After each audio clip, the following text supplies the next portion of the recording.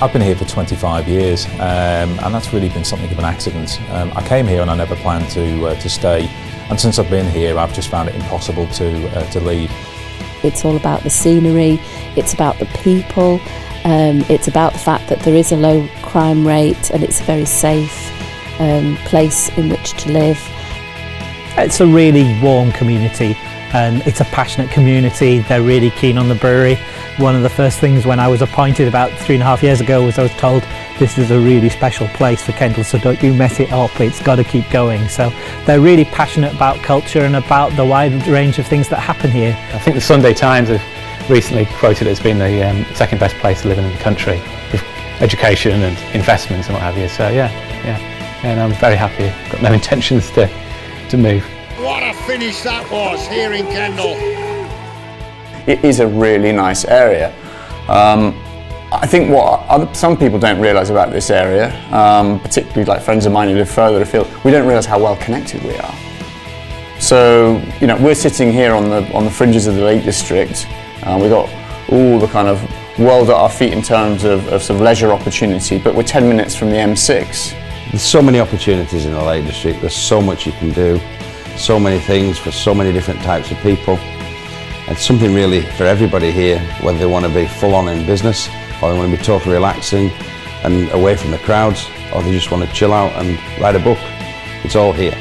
In a district of this size, it shouldn't be programming over 200 events, live performances every year, and yet people keep coming. There's a real appetite in this town to experience something new and fresh across festivals which we host and, and the programme of activities throughout the year the biggest mountain festival in the world.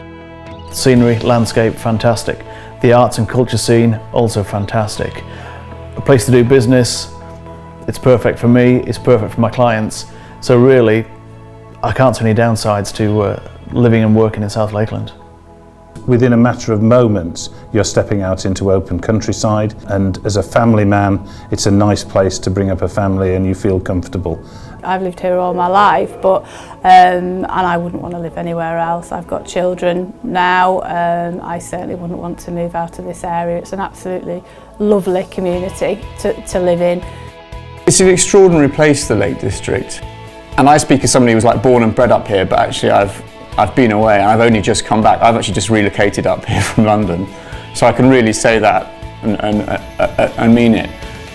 Quality education that my children have had here um, doesn't compare with anything that I experienced as a, as a youngster myself.